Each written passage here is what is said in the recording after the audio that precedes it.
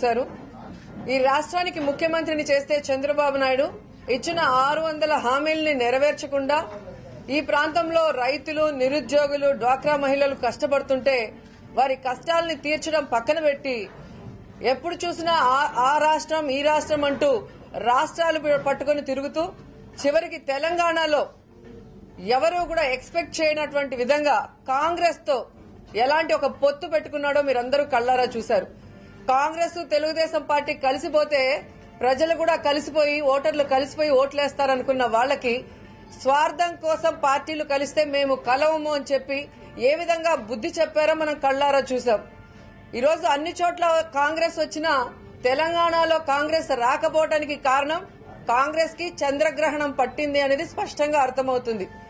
చంద్రబాబు నాయుడు గారి చేయి పట్టుకొని నడవటం కుక్క తోక పట్టుకొని గోదావరి ఈదినట్టే. అని ఈరోజు కాంగ్రెస్ నాయకులు కూడా తెలుసుకున్నారు.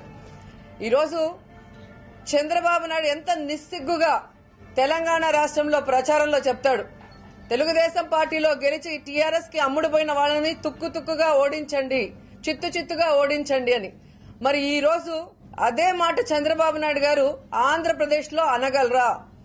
వైఎస్ఆర్సీపీ నుంచి ఇరవై మూడు మంది ఎమ్మెల్యేలను కొనుక్కుపోయిన నువ్వు వాళ్ళ చేత రాజీనామా చేయించి ఎన్నికల్ని ఫేస్ చేయలేని చేతగాని దద్దమ్మ ముఖ్యమంత్రి నువ్వు అక్కడొక మాట ఇక్కడొక మాట మాట్లాడుతూ తప్పించుకోవాలి అంటే ప్రజలు ఇంకా నమ్మే పరిస్థితి లేదు. ఈరోజు సోషల్ మీడియా ఎంత వేగవంతంగా పనిచేస్తుంది మీరు చేసే కుట్రల్ని ఎలా ఛేదిస్తుంది అనే దానికి తెలంగాణ ఎన్నికలే నిదర్శనం. ఎందుకంటే ఎన్నికల ముందు మీరు చూశారు ఎన్నికలు జరిగే ముందు లగడపాటితో ఒక సర్వే పేరుతో తమకు అనుకూలంగా కుట్రలు చేసి కట్టలతో గెలవాలనుకున్నారు. కానీ కుట్రలు కట్టలతో ప్రజలు ఓట్లేయరు. సంక్షేమానికే ఓట్లేస్తారు. మీరు చేసే నీతి మాలిన రాజకీయాలకి బుద్ధి చెప్పడానికి వాళ్ళు కంకణం కట్టుకున్నారనేది స్పష్టంగా అర్థమవుతుంది. ఎందుకంటే ఎన్నికల ముందు ప్రజల్ని కన్ఫ్యూజ్ చేసే విధంగా లగడపాటి గారు ఇచ్చిన సర్వే ఎలా ఉందంటే శకుని వేసిన పాచికల్ లాంటివి. ఆ శకుని వెనక దుర్యోధను ఉండి స్క్రిప్ట్ ఇచ్చి అన్ని చేయించాడు అని నిన్న రిజల్ట్స్ తర్వాత అందరికీ కూడా అర్థమైంది. ఎందుకు లగడపాటి ఇలా చేశాడు అంటే అతను కూడా విజయమాల్య లాగా సుజనా చౌదరి లాగా వేల కోట్లు బ్యాంకుల నుంచి తీసుకొని వాటిని రీఫండ్ చేయలేక వాటి నుంచి తప్పించుకోవడానికే ఈ విధంగా కాంగ్రెస్ని తెలుగుదేశాన్ని ఏదో విధంగా గెలిపించేసి ప్రజల్ని కన్ఫ్యూజ్ చేసి తన డబ్బులు ఎగ్గొట్టేసి మరి సెటిల్ అయిపోదామనుకున్న అతని యొక్క ఆశల మీద తెలంగాణ ప్రజలు చాలా తెలివిగా నీళ్ళు చల్లారని కూడా అర్థమవుతుంది. లగడపాటి గారికి నేను సూటిగా చెప్తున్నాను. రాజకీయ సన్యాసం తీసుకున్నానన్న మీకు ఈ సర్వేల పేరుతో రాజకీయ నాయకులతో చాటింగ్ ఏంటయ్యా అని అడుగుతున్నా. ఈ రోజు ఆయన కేటీఆర్ గారితో చేసిన చాటింగ్ మనం అందరం కూడా చూసాం. మీరు తెలుగుదేశం పార్టీతో కలవండి బాగుంటుంది అని చెప్పి నువ్వు చెప్పడం అనేది ఒక రాజకీయ బ్రోకర్ లాగా కనిపిస్తుంది కానీ రాజకీయ అనలిస్ట్ అనేది ఎక్కడా కూడా కనిపించలేదు. సో నువ్వు రాజకీయ సన్యాసం చేస్తున్నట్టే ఈ సర్వేల సన్యాసం కూడా చేస్తే బాగుంటుంది. ఎందుకంటే ఇంకా లగడపాటి సర్వేలు నమ్మే పరిస్థితిలో ఏ ప్రజలు కూడా లేరు. ఎందుకంటే గతంలో తమిళనాడులో ఆయన ఇచ్చిన సర్వే చూసాం. మొన్న తెలంగాణలో ఆయన ఇచ్చిన దొంగ సర్వేని చూసాం కాబట్టి ఇక ఆంధ్రాలో ఆయన ఇచ్చే సర్వేల గురించి పట్టించుకునే నాదుడు కూడా లేరు కాబట్టి ఆయన సర్వేల సన్యాసం తీసుకుంటే బాగుంటుందని కూడా తెలియజేసుకుంటున్నా. ఆయన తెలుగుదేశం పార్టీలో ఉన్న ముఖ్య నాయకులు సీనియర్ నాయకుడు మంత్రి అయ్యన్న పాత్రుడు ఆ రోజే చెప్పాడు తెలుగుదేశం పార్టీ కాంగ్రెస్తో కలిస్తే ప్రజలు బట్టలూడ తీసుకొడతారు అని. ఈరోజు దాదాపుగా అదే పరిస్థితి నిన్న మనం చూసాం మరి కేఈ కృష్ణమూర్తి గారు కాంగ్రెస్తో తెలుగుదేశం పార్టీ జత కలిస్తే నేను ఉరేసుకుంటాను అన్నాడు. ఆయన ఉరేసుకోకపోయినా ఈ రోజు తెలంగాణ ప్రజలు కాంగ్రెస్ని తెలుగుదేశం పార్టీని ఎలా ఉరేశారో మనం కళ్ళారా చూసాం సో ఈరోజు చంద్రబాబు నాయుడు ఏదో తన చంటోడిని ఇంట్లో పెట్టేస్తే హైదరాబాద్లో అండ్ తెలంగాణలో సీట్లు సాధిస్తాం అనుకున్నాడు కానీ ఈరోజు పప్పు చాలా హ్యాపీగా ఉంటాడు. ఎందుకంటే గ్రేటర్ హైదరాబాద్ ఎలక్షన్లో నేను వెళ్ళి ఒక్కటైనా గెలిపించుకొని వచ్చా మా నాన్న వెళ్ళాక హైదరాబాద్లో సున్నా అని చెప్పి సంకలు గుద్దుకుంటుంటాడు. ఇక పప్పుని ఓఎల్ఎక్స్లో పెట్టి అమ్ముకోవాల్సిందే. ఎందుకంటే తెలంగాణలో వచ్చేస్తుంది మనం ఇంకా రాజకీయంగా దున్నేద్దాం నా కొడుకుని నెత్తిన కిరీటం పెడదాం అనుకున్న చంద్రబాబు నాయుడు గారికి లోకేష్కి ఈ రోజు రాజకీయం అంతా అంధకారంగా కనిపిస్తుంది. ఎందుకంటే మనం కళ్ళారా చూసాం ఏ విధంగా నందమూరి ఫ్యామిలీని సమాధి చేయాలన్న కుట్రకి తెరలేపి రాజకీయాలకు సంబంధం లేని సుహాసిని గారిని చుండ్రు సుహాసిని గారిని తీసుకొచ్చి కూకెట్పల్లిలో పెట్టి నందమూరి సుహాసిని అని వైఫ్ ఆఫ్ హరికృష్ణ అని మీరు చూసుంటారు. సో ఏ విధంగా దిగజారిపోయి రాజకీయాలు చేసి ఈరోజు హరికృష్ణ ఫ్యామిలీని రాజకీయంగా దెబ్బ కొట్టి తన కొడుక్కి ఎవరు అడ్డు రాకుండా ఉండాలన్న ఆలోచన చేశాడనేది ఈరోజు అందరూ తెలుసుకున్నారు. ఎందుకంటే ఎన్టీఆర్ పసిగట్టాడు. కళ్యాణ్ రామ్ పసిగట్టారు అందుకే ప్రచారానికి రాలేదు. సో చంద్రబాబు నాయుడు హరికృష్ణ బ్రతికుండగా అతన్ని మానసికంగా చంపేసి అతన్ని పార్టీలో నుంచి బయటకు పోయే విధంగా పొగబెట్టి ఈరోజు ఆయన చనిపోయాక ఆ శవం దగ్గరే కేటీఆర్ గారితో మరి టీఆర్ఎస్తో పొత్తు కోసం ప్రయత్నం చేసి అది జరగకపోయేసరికి ఈ రోజు సుహాసిని గారిని పెట్టి ఆవిడ మాట్లాడటం చేతగాక పాపం తడబడుతుంటే మాకు బాధేసింది. ఎందుకంటే తెలుగుదేశానికి ప్రచారం చేసిన ఎన్టీఆర్ ఉన్నాడు కళ్యాణ్ రావు ఉన్నాడు. వాళ్ళకి ఇవ్వచ్చు కదా. ఎమ్మెల్సీ పదవి ఇచ్చి మినిస్టర్లు ఇవ్వచ్చు. నీకు నందమూరి ఫ్యామిలీ మీద అంత ప్రేమ ఉంటే ఈ రోజు బాలకృష్ణని ఏ విధంగా ఎమ్మెల్యేని చేసి వాడుకుంటూ ఆయన అలా పక్కన పెట్టి తన కొడుక్కి మాత్రం ఎమ్మెల్సీ ఇచ్చి మినిస్టర్ ఇచ్చారో మనం చూసాం అలాగే ప్రచారానికి వాడుకున్న జూనియర్ ఎన్టీఆర్ని ఎలా పక్కన పడేసి కళ్యాణ్ రామ్ని ఎలా పక్కన పడేసి ఆ కుటుంబంలో నుంచే మరి సుహాసిని తీసుకొచ్చి వాళ్ళకి వాళ్ళకి గొడవలు పెట్టి కుటుంబాన్ని కూడా విచ్ఛిన్నం చేసే పరిస్థితికి వచ్చాడు చంద్రబాబు నాయుడు అంటే రాజకీయం కోసం ఎంత దిగజారిపోతాడో స్పష్టంగా అర్థమవుతుంది. నలభై సంవత్సరాల అనుభవం ఉంది నలభై సంవత్సరాల అనుభవం ఉందని చెప్పుకునే చంద్రబాబు నాయుడికి నలభై అడుగుల గోతి తీసి తెలుగుదేశం పార్టీకి సమాధి చేశారు తెలంగాణ ప్రజలు. నేను దేశాన్ని కాపాడుతాను దేశాన్ని కాపాడుతాను. అందుకే కాంగ్రెస్తో జతగలిశాను ఇది చారిత్రాత్మక కలయిక అన్న చంద్రబాబు నాయుడికి. తెలుగుదేశాన్నే నువ్వు కాపాడుకోలేకపోతున్నావు ఇంక దేశాన్ని ఏం కాపాడగలవని బుద్ధి చెప్పారనేది స్పష్టంగా అర్థమవుతుంది. ఈరోజు ఆంధ్ర ప్రజలు ఎంత సంతోషంగా ఉన్నారంటే అంత సంతోషంగా ఉన్నారు. దానికి నిదర్శనం మన హైదరాబాద్లో ఆంధ్ర ప్రజలు ఎక్కువగా ఉన్న కుత్బుల్లాపూర్ షేర్లింగంపల్లి అదేవిధంగా ఉప్పల్ కూకట్పల్లి మల్కాజ్గిరి ప్రాంతాలు తీసుకొస్తే మామూలు విజయం కాదండి. ఘన విజయంతో బుద్ధి చెప్పారు తెలుగుదేశం పార్టీకి. మీరు కూకట్పల్లిలో చూస్తే నలభై ఒక్క వెయ్యితో టీఆర్ఎస్ వాళ్ళు గెలిచారు. అలాగే ప్రతి ప్రాంతంలో యాభై వేలు డెబ్బై వేలతో మరి టీఆర్ఎస్ వాళ్ళని గెలిపించుకొని తెలుగుదేశానికి కాంగ్రెస్కి బుద్ధి చెప్పారు అంటే మరి చంద్రబాబు నాయుడు ఆంధ్రాలో చేసే అరాచకాలు అవినీతి దోపిడి ఏదైతే విన్నారో ఆ వినే ఇంత మెజారిటీతో వాళ్ళని ఓడించారు అంటే ఇక్కడ ఆ అరాచకాల్ని ఆ అవినీతిని కల్లారా చూసి ఆ యొక్క బాధను అనుభవించిన ఆంధ్ర ప్రజలు డిపాజిట్లు కూడా లేకుండా తెలుగుదేశం పార్టీని తరిమి కొడతారన్నది నిజం. ఎందుకంటే నిన్న అక్కడ జరిగిన విజయాన్ని చూసి ఆంధ్రప్రదేశ్లో ఉన్న రైతులు నిరుద్యోగులు అక్క చెల్లెములు ఎంత సంతోషంగా ఉన్నారో వాళ్ళ కళ్ళల్లో కనిపించింది. ఎప్పుడెప్పుడు ఎన్నికలు వస్తాయా? ఆంధ్ర ప్రజలు ఎవరైతే తెలంగాణలో ఉన్నారో వాళ్ళు ఇచ్చిన తీర్పుకి వంద రెట్లు ఎక్కువగా తీర్పిచ్చి మరి చంద్రబాబు నాయుడుకి కాంగ్రెస్కి బుద్ధి చెప్పాలన్న ప్రయత్నం చేయాలని అందరూ కూడా ఎదురు చూస్తున్నారనటంలో ఎటువంటి సందేహం కూడా లేదు. ఎందుకంటే లగడపాటి లాంటి శకునుల్ని పెట్టుకొని ఎన్ని పాచికలు వేసినా పారవు అని చెప్పి తెలంగాణ ప్రజలు విఘ్నతగా ఎలా ప్రవర్తించారో ఆంధ్ర ప్రజలు కూడా అలాగే విఘ్నతగా ప్రవర్తించబోతున్నారని ఖచ్చితంగా మేము చెప్పగలం. అండ్ కాంగ్రెస్ వాళ్ళకి మేము క్లియర్గా చెప్తున్నాం. ఈ రోజు మీరు రాజశేఖర్ రెడ్డి గారు లేని కాంగ్రెస్ పార్టీ తల లేని మొండెం లాంటిది. అంపశయ్య మీద ఉన్న కాంగ్రెస్ పార్టీని రెండు సార్లు అధికారంలోకి తీసుకొచ్చింది వైఎస్ఆర్. అలాంటి వైఎస్ఆర్ని పొట్టన పెట్టుకొని ఆ వైఎస్ఆర్ గారి స్టాచ్యూలు కూడా పెట్టకుండా ఆ వైఎస్ఆర్ గారిని అవమానించిన అందరూ కూడా పుట్టగతులు లేకుండా పోయారు.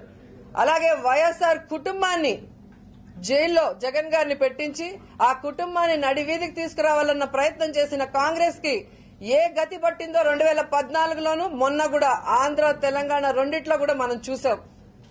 అలాగే ఓటు నోటు కేసులో ఎవరైతే దొంగలున్నారో చంద్రబాబు నాయుడు గారు గాని రేవంత్ గారు గాని ఈరోజు ఇద్దరికి ప్రజలు బాగా బుద్ధి చెప్పారు. సో తప్పు చేసిన వాడికి శిక్ష ప్రజా కోర్టులో ఉంది అని చెప్పిన తెలంగాణ ప్రజలకు నేను సెల్యూట్ చేస్తున్నాను. ఎందుకంటే ఏదైనా మనం తప్పు చేసేయచ్చు. మీడియా ఉంటే చాలు మనీ ఉంటే చాలు మ్యానిపులేషన్ చేస్తే చాలు అనుకునే చంద్రబాబు నాయుడు లాంటి కుట్రదారుడికి రాజకీయ నేరస్తుడికి ఒక పులి స్టాప్ ప్రజలు పెట్టగలరని తెలిస్తేనే వాళ్ళకి ఒంట్లో భయం ఉంటుంది. లేకపోతే వారి ఇష్టానికి వాళ్ళు చేసే పరిస్థితి ఉంటుంది. అండ్ ఎప్పుడు చూసినా జాతీయ అధ్యక్షుడిని జాతీయ అధ్యక్షుడిని అని చెప్పుకునే చంద్రబాబు నాయుడికి ఆయన జాతీయ అధ్యక్షుడు అయ్యాకే పదహైదు సీట్ల నుంచి రెండు సీట్లకు వచ్చేసింది తెలుగుదేశం పార్టీ. సో ఈ రోజు చంద్రబాబు నాయుడు గారు తెలుసుకోవాలి. నీ మనీ నీ మ్యానిపులేషన్ నీ మీడియా నిన్ను కాపాడలేదు. ఈ రోజు నీ వల్ల నీ ప్రోద్బలం వల్ల అబద్దాలు చెప్పిన మీడియా మీద కూడా ప్రజలకి నమ్మకం పోయే పరిస్థితి వస్తుంది. ఎందుకంటే మీడియా అనేది ప్రజల సమస్యల్ని ప్రభుత్వం చేసే తప్పుల్ని ఎత్తి చూపించి అవన్నీ సరిదిద్దాల్సింది పోయి చంద్రబాబు నాయుడిని కాపాడాలని అన్న ప్రయత్నం చేసిన ప్రతి ఒక్కరికి కూడా ఇది చెంపపెట్టులాగా మరి కళ్ళారా మనం చూడటం జరిగింది. సో ఇకనైనా ఆంధ్ర రాష్ట్రంలో ఏదైతే చంద్రబాబు నాయుడు చేస్తున్న అవినీతి గాని అక్రమం గాని అరాచకాలు గాని మీడియా మిత్రులందరూ కూడా ప్రజలకి తెలియజేసి ఇలాంటి వాడిని తరిమి కొట్టే ప్రయత్నంలో మరి మీ అందరూ కూడా అండగా ఉండాలి. ఎందుకంటే ఈరోజు కేసీఆర్ ఏదైతే తెలంగాణను సాధించారో ఏదైతే తెలంగాణ ప్రజల హక్కుల్ని సాధించారో వాటికి మరి ఏ విధంగా ప్రజలు ఓట్లేశారో మరి మన రాష్ట్ర అభివృద్ధికి మన రాష్ట్ర హక్కుల్ని సాధించడం కోసం అహర్నిశలు ప్రజల్లో ఉండి పో- పోరాడుతున్న జగన్మోహన్ రెడ్డి గారిని కూడా అలాగే ఆశీర్వదించిన రోజునే మళ్ళీ రాజన్న రాజ్యం వస్తుంది. ఈ రాష్ట్రం అభివృద్ధి చెందుతుంది. ఈ రాష్ట్రంలో అన్ని సంక్షేమ పథకాలు కూడా పేద ప్రజలకి అందే పరిస్థితి వస్తుంది అనేది ఈ రోజు అందరూ కోరుకుంటున్న విషయం. సో ఇక గ్రామాల్లో గాని ఎక్కడా కూడా తెలుగుదేశం వాళ్ళు కనిపించే పరిస్థితి కూడా ఉండదు. ఎందుకంటే ఎప్పుడు చూసినా మేకప్ వేసుకొని కెమెరాల ముందుకు వచ్చి ఏదో ఒకటి వాగే తెలుగుదేశం పార్టీ ముఖ్యమంత్రి గాని ఆయన నాయకులు గాని ఒక్కరు కూడా కనిపించకుండా ఎలా కరకట్టలో దాక్కున్నారో మనం స్పష్టంగా చూసాం కాబట్టి వీళ్ళని తెలంగాణ నుంచి ఎలా తరిమేశారో ఆంధ్ర నుంచి కూడా అలాగే తరిమేయాలని ఆంధ్ర ప్రజలందరినీ కూడా మనస్ఫూర్తిగా కోరుకుంటున్నారు.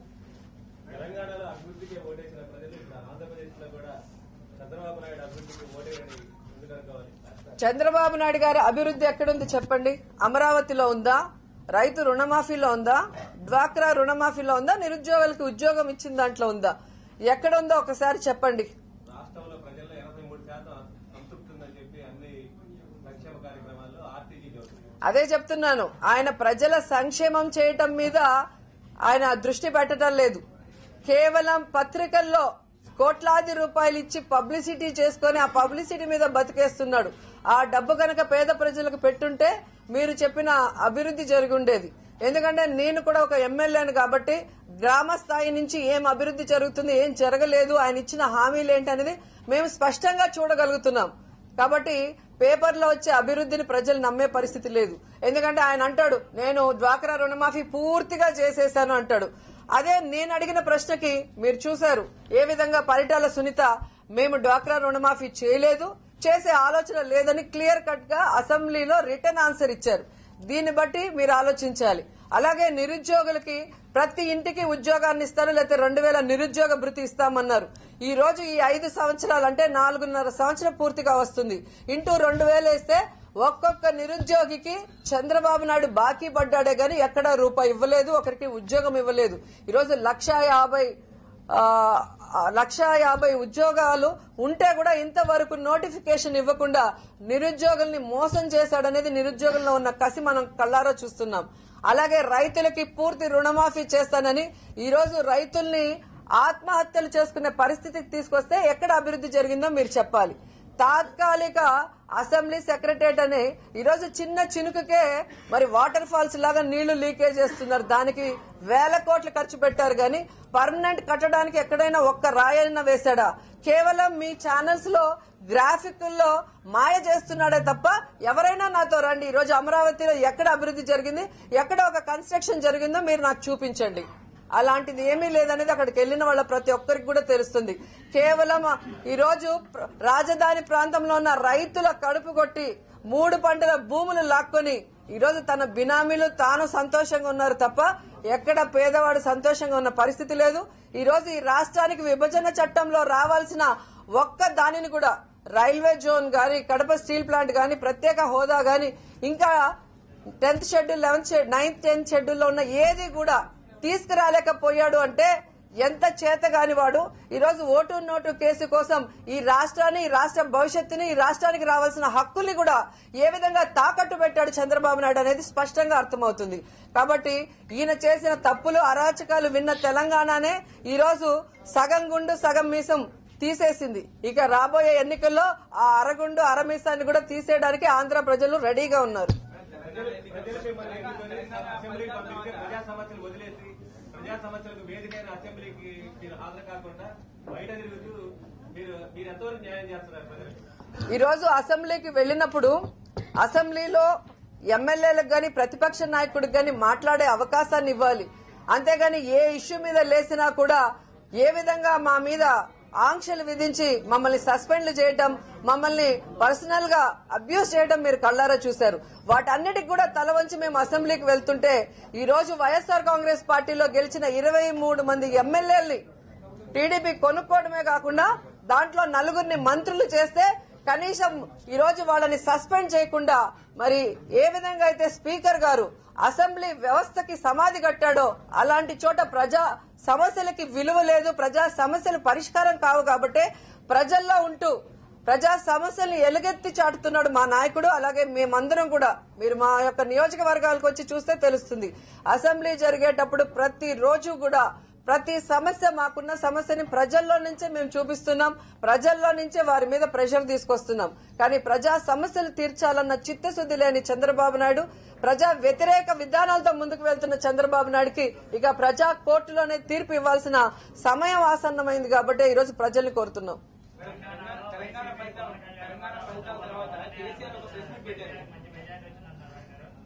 అర్థం కాలేదు. కొంచెం గట్టిగా అడగండి తెలంగాణలో వైసీపీ అండ్ జనసేన కూడా టీఆర్ఎస్ మద్దతు పలకడం వల్లనే వన్ సైడ్ ఎలక్షన్ జరిగిందంటున్నారు ఇలా చెప్పుకోవటం మీకు ఆనందం అండి కానీ కళ్ళ ముందు ఏ మోడీ అయితే ముఖ్యమంత్రిగా పనికిరాడు నా రాష్ట్రంలోకి వస్తే ఉరి తీస్తానని అసెంబ్లీలో మాట్లాడిన చంద్రబాబు నాయుడు అదే మోడీతో జత కలిసి ఎన్నికలకు పోతే మీకు ఒక బాగా సమ్మగా ఉంది.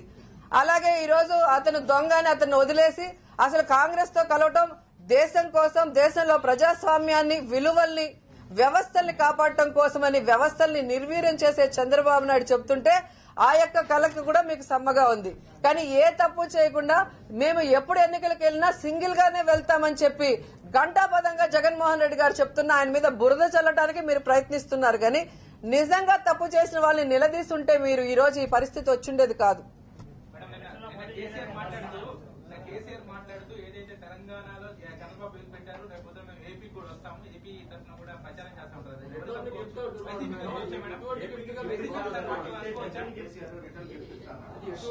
మరి చంద్రబాబు నాయుడు గిఫ్ట్ ఇవ్వడానికి హైదరాబాద్కి వెళ్ళినప్పుడు మన రాష్ట్ర సమస్యలు వదిలేసి మరి మీరు ఎందుకు సైలెంట్గా ఉన్నారు? ఎందుకు నిలదీయలేదు? సో ఈ రోజు తన రాష్ట్రంలో వచ్చి ఓటు నోటు కేసుతో తన ఎమ్మెల్యేనే కొనాలనుకున్నప్పుడు కూడా మీరు చూసారు ఆయన ఎలా రియాక్ట్ అయ్యాడో. సో ఆ రోజు ఇంకా కొంచెం సీరియస్గా రియాక్ట్ అయ్యింటే ఈ రోజు ఈ పరిస్థితి వచ్చిండేది కాదు. సో ఇప్పటికైనా కేసీఆర్ గారు మేల్కొన్నారు. చంద్రబాబు నాయుడు కుట్టిల రాజకీయాలను అర్థం చేసుకున్నాడు కాబట్టి ఆయనకి ఇచ్చిన గిఫ్ట్కి రిటర్న్ గిఫ్ట్ ఇస్తాననటం మాకు సంతోషంగా ఉంది. ఆ రిటర్న్ గిఫ్ట్ ఏంటో అని మేము కూడా ఆతృతగా ఎదురు చూస్తున్నాం. Hello, this is your Nandu. Please do subscribe to New Waves Media. ఇలాంటి మరిన్ని మంచి వీడియోలు కావాలని కోరుకుంటున్నారా? అయితే పక్కనే ఉన్న గంట సింబల్ను క్లిక్ చేయండి. అలాగే సబ్స్క్రైబ్ చేయండి.